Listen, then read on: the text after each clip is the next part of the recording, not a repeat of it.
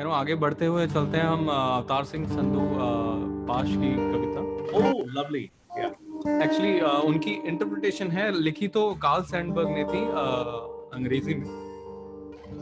और इसका नाम अंग्रेज़ी में ग्रास था बहुत सुंदर से अडेप्ट किया है। उसको बिल्कुल पंजाबी वर्जन वहाँ का लोकलाइज्ड एक इसका वर्जन उन्होंने लिखा।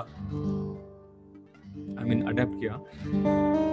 तो उसे मैं पहले हिंदी में आ, सुनाता हूँ आपको और फिर पंजाबी में गाऊँगा। इंटरेस्टिंग जर्नी है पहले इंग्लिश से पंजाबी फिर पंजाबी से हिंदी। सुंदर journey so hey we go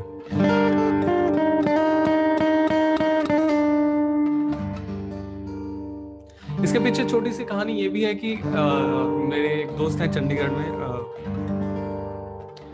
चनी उन्हें हम प्यार से बुलाते हैं, गुरचरण सिंह चनी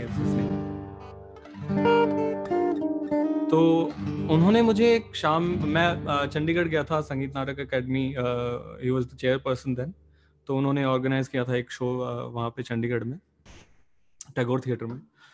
तो शो के बाद अगले दिन शाम में मैं उनके यहाँ बैठा हुआ था उनके साथ, और उन्होंने फिर ये, तब ये कविता सुनाई थी मुझे। और मुझे याद है आई आई हैड गूज और सुनते ही मुझे लगा कि अरे, कितना कमाल का थॉट है कि मैं घास हूँ, मैं तुम्हारे हर किए धरे पर उगाऊँगा। तुम कुछ भी कर लो तो मुझे रोक नहीं सकते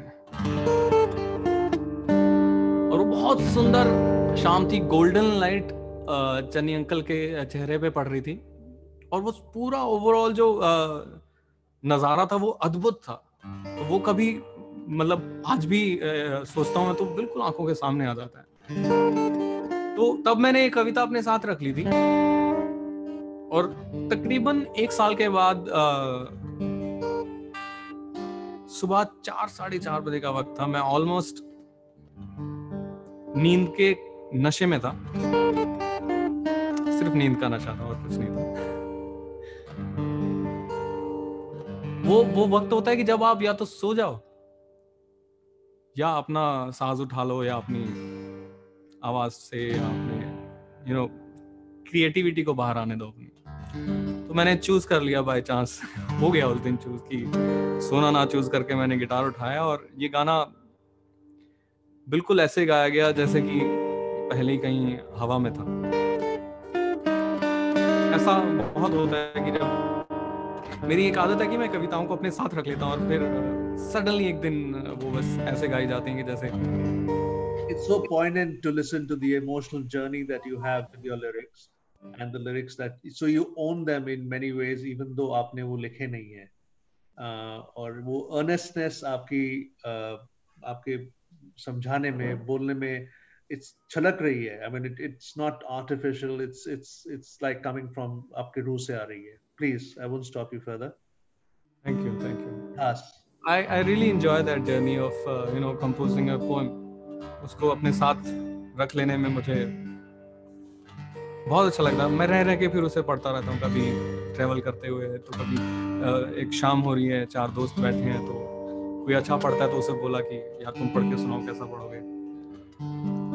तो that's how uh, most of my songs uh, songs and like most of the poetry which I've worked on वो इसी तरह से कंपोज हुई है।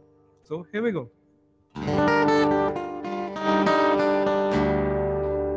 मैं घास हूँ।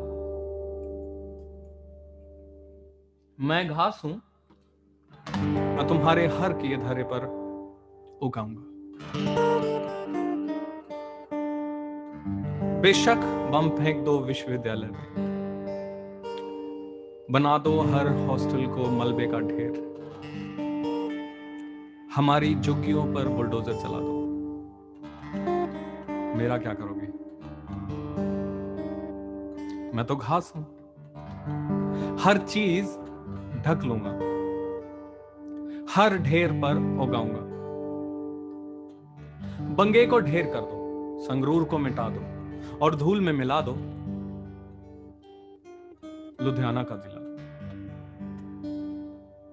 मेरी हरियाली अपना काम करेगी। दो साल, दस साल बाद सवारियाँ फिर किसी कंडक्टर से पूछेंगी, ये कौन सी जगह है? मुझे बरनाला उतार देना, जहाँ हरी घास का जंगल मैं घास हूँ, मैं अपना काम करूँगा, मैं तुम्हारे हर किए धरे पर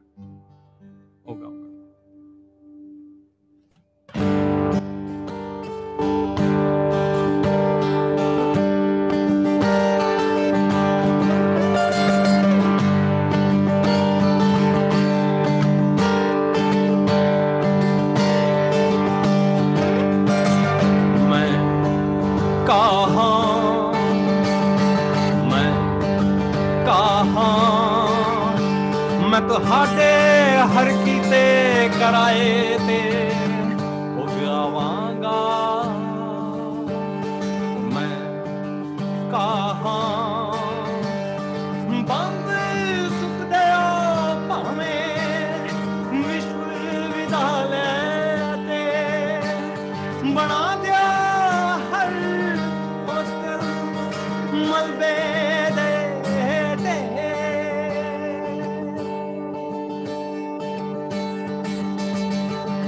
मांगा, फेर दो बेशक साडिया झुगिया ते। मैनू की करोगे? मैं ता कहा, हर चीज़ तक लवांगा। हर ठेर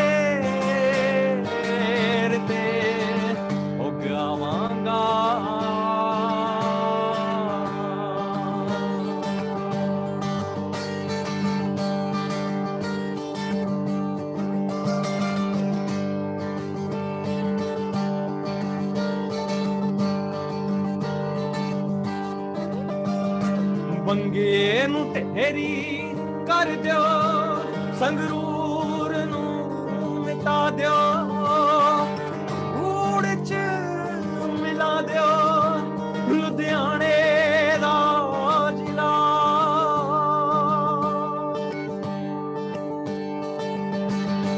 ਮੇਰੀ ਹਰਿਆਲੀ ਆਪਣਾ ਕੰਮ ਕਰੇਗੀ। ਦੋ ਸਾਲ 10 ਸਾਲ ਬਾਅਦ। ਸਵਾਰੀਆਂ ਫਿਰ ਕਿਸੇ ਟਿਕਟ ਕੱਟ ਤੋਂ ਪੁੱਛਣ ਗਿਆ ਇਹ ਕਿਹੜੀ ਥਾਂ ਹੈ? ਮੈਨੂੰ ਬਰਨਾਲੇ ਉਤਾਰ ਦਿਓ ਜਿੱਥੇ ਹਰੀ ਘਾਹ ਦਾ ਜੰਗਲ ਮੈਂ ਤਾਂ ਕਹਾ, ਮੈਂ ਆਪਣਾ ਕੰਮ ਕਰਾਂਗਾ। ਮੈਂ ਤੁਹਾਡੇ ਹਰ ਕੀਤੇ ਕਰਾਏ ਤੇ ਉਹ ਗਾਵਾਂਗਾ ਥੈਂਕ ਯੂ ਵਾਹ ਜੀ ਵਾਹ बहुत ही बढ़िया थैंक यू प्राइवेट चैट पे बड़े मैसेज आ रहे हैं तुम्हारे लिए